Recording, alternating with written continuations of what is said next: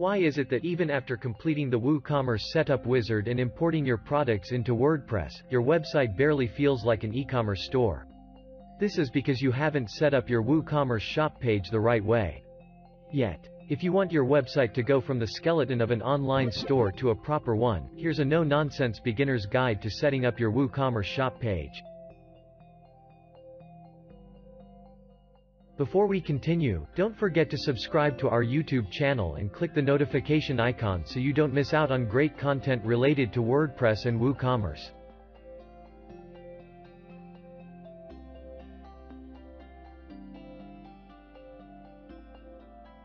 When you install WooCommerce, the plugin automatically creates essential e-commerce pages like Shop, Cart, Checkout, My Account, and Privacy Policy.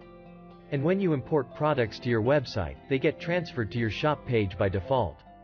While this is convenient, you can define a custom page as your shop page too. Go to WooCommerce settings from your dashboard. Click on the Products tab and stay on the General sub-tab. This is the option that allows you to define your shop page. Click on the drop-down menu and select the one you want to set as your shop page. If you don't already have a custom shop page, you can easily create a new one from the dashboard and then set it as the shop page. While you're here, you can also manage your cart behavior and set a placeholder image for your products.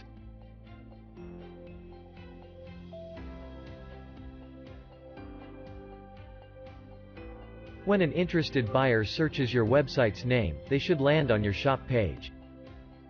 You can ensure this by making the shop page as your homepage.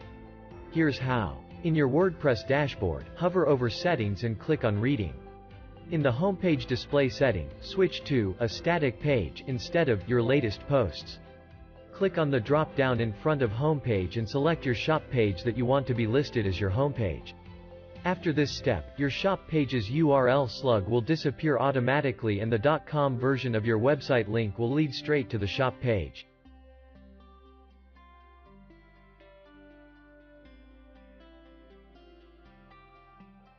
WordPress Gutenberg Editor is a block builder that lets you customize your pages using many types of blocks. After installing the WooCommerce plugin, you'll get access to 19 additional blocks that are designed to help you build and customize your shop page. Let's use a few of them to build a simple shop page from scratch.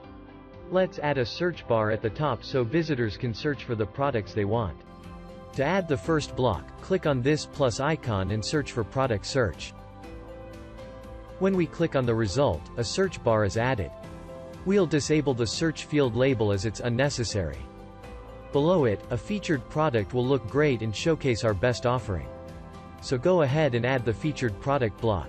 You'll then have to select the product you want to feature. Either use the search feature or use the list of products. We'll select this one. Feel free to customize this block here.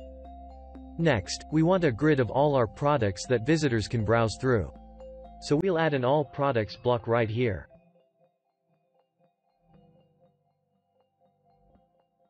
Looks good but it'll look better with three rows of products.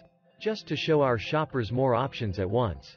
We're stopping here, but you can play around with many other blocks to build your shop page.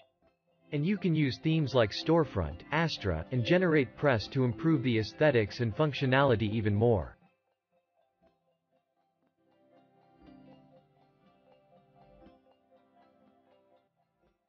Apart from these handy blocks, WooCommerce offers an extra layer of customizations too. Follow along. Hover over Appearance in your dashboard and click on Customize. Click on WooCommerce from the list of customizable website elements. Then, choose Product Catalog. Click on the first drop-down and choose if you want your shop page to show products, categories, or both. Click on the third drop-down and select how you want your products on the shop page to be sorted. The last two options on this page will let you control how many products per row and rows per page your shop page should have. These two options work together to let you control the number of products that are shown in your catalog. Now, go back a page and click on Product Images. Here, you can adjust the size and aspect ratio of your product thumbnails. And that's it. If you've kept up until now, your shop page should now be ready to put your store's best foot forward. Check out learnwoo.com for more articles, videos, and resources related to WordPress and WooCommerce.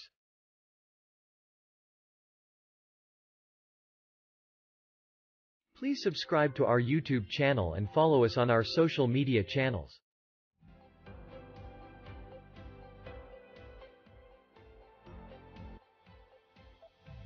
And do let us know in the comment section if you want us to cover a specific topic, or if you have any ideas or suggestions.